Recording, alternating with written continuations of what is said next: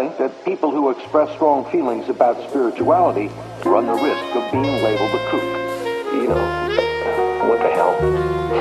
What the hell? You know, whatever. I just want to be myself. Hyperbolic, subatomic, Catholic, cursing verses, regurgitating hatred, creating a thoughtless nation. My astronomic, philosophical, conscious, observing the virgin birth and the perfect version of God's creation. Reside in my DNA, so division gave me vision. I follow the Star of David.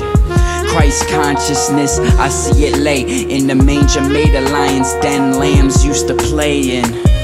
Residing inside the mystery Babylon. We're living with a strong connection to the spirits laughed upon. Had a long day, sinning, need to eat a Cinnabon Take a shot of insulin, cause in my pancreas it's gone. Try to find some motivation in my brain to lift some weights But deep inside procrastination, saying that that shit can wait. Had a date with destiny, it's safe to say that I was late. She told me fate was something we create, something we never take. And she was never there till I appeared, she said beware I'm neither here nor there, but everywhere and every place. And you can't catch me, you can't hold me, you can't measure or control me. You can only write about me and pretend you know my face.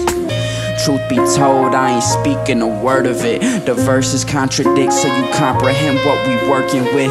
Transmute the soul with precision, like I'm an alchemist. Refute the old way of living, observe what wisdom is. Open the mind, break the barriers that keep you blind. See what you find, use the uncovered mystery wise. We live in a time materialism is sublime, and true spirituality is seen as a crime.